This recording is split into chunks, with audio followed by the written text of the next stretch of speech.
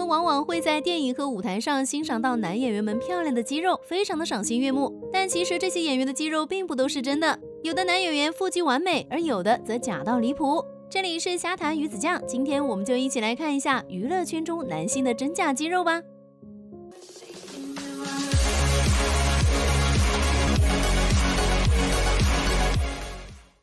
与君初相识》中，任嘉伦的身材成了讨论的热点。剧中他饰演鲛人，一开头就有大量裸露戏。瞧瞧这白皙嫩滑的肌肤，这孔武有力的八块腹肌，一只鱼都能练成此等水平，凡人实在自愧不如。只不过这好身材完全是假的。其实早在二零二一年的十月，《与君初相识》爆出首版预告时，任嘉伦的身材就上了热搜。词条叫“任嘉伦与君初相识，鲛人出水镜头”，也不知道是自来水还是买的，一水的网友夸任嘉伦的腹肌有多沙。迷妹想在哥哥的腹肌里捉迷藏，明察秋毫的路人却表示任嘉伦头小身子大，比例失调且棱角分明的胸肌、腹肌和锁骨都能看出这并非是任嘉伦本来的身材。谜底揭晓时刻也来得很快，在一则花絮路透里，任嘉伦果不其然穿着一件塑料肌肉衣，脖子处有很明显的痕迹。这玩意儿网友没少见，coser 常用，还经常出现在一些综艺里，艺人穿它来搞笑，制造节目效果。本来就非常假，现在居然出现在电视剧里，多少有点开了眼。不练身材，拍戏走捷径，任嘉伦也被骂不敬业。后来与君初相识的导演朱瑞斌出来回应称，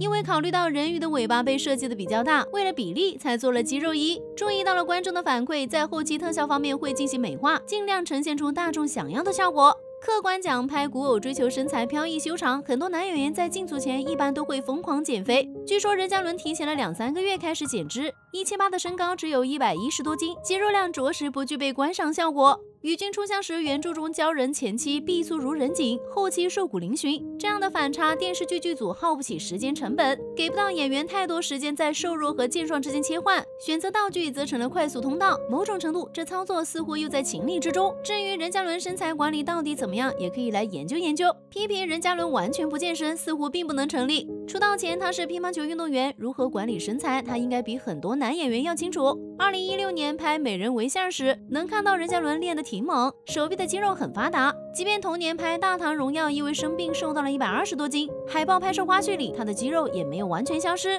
二零一九年拍摄消防题材《蓝焰突击》时，任嘉伦透露，为了贴合角色，他私下里每天去健身房增肌到了一百四十斤。所以任嘉伦也不是没有为角色付出过，盖章不敬业，难免有一点言之过甚了。要怪只能怪后期，任嘉伦出演的是鲛人，后期给他整成了鲛人，这肤质，这满满的塑料感，不违和才怪。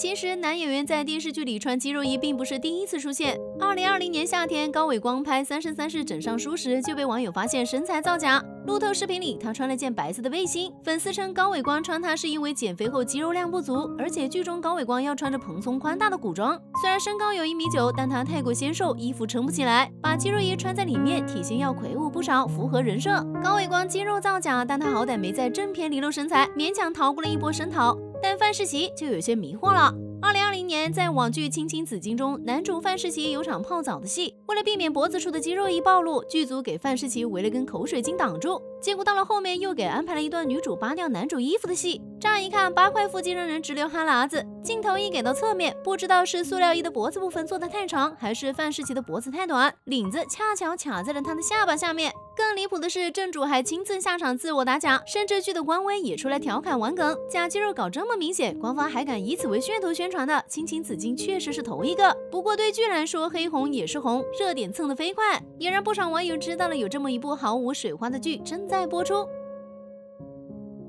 二零一六年的老炮儿中，张涵予饰演的闷三儿，那一身线条分明的肌肉令人记忆犹深。后来从花絮中才知道，原来张涵予这身肌肉是假的，不过不是那种塑料衣，而是为了达到肌肉精悍的效果贴上的假肌肉。这一身肌肉装用发泡乳胶制成，薄薄一层，方便贴于肌肉上。肌肉分成九块，有胳膊、肩膀、前胸、后背和腹部。贴上它需要花五六个小时，卸下来需要两小时。而制作这样的肌肉装成本在三十万元人民币左右。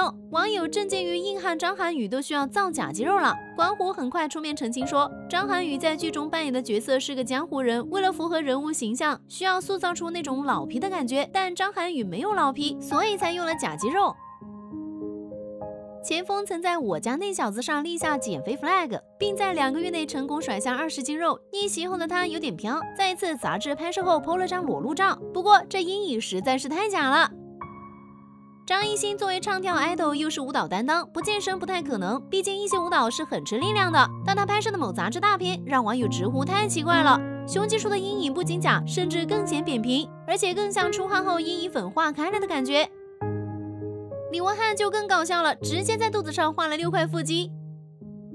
拍摄《盗墓笔记》时，杨洋也画过腹肌，不过事后杨洋在采访里有力挽狂澜的给自己挽尊，他说自己不是没腹肌，而是在镜头下灯光把本身的肌肉阴影都给磨掉了，所以才必须借助一下人工阴影的力量。这么长一大段话，在网友看来就是肌肉不明显的意思。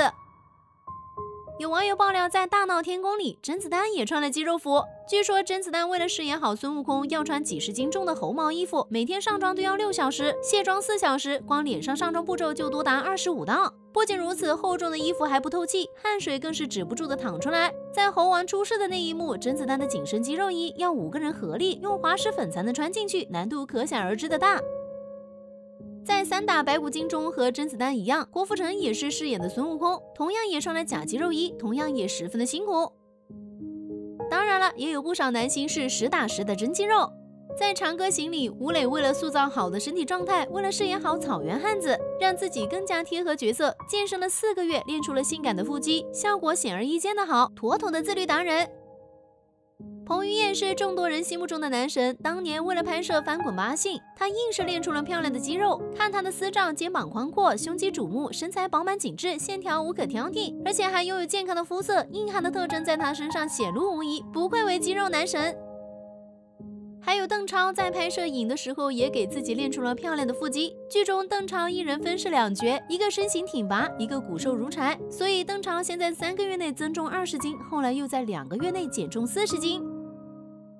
二零二二年，随着电视剧《破冰行动》的热播，不少观众都被罗晋迷住了。原来很少露肉的罗晋，居然在剧中开始秀出自己的上半身，那八块腹肌十分亮眼，也十分标准，让不少宅女都流出了口水。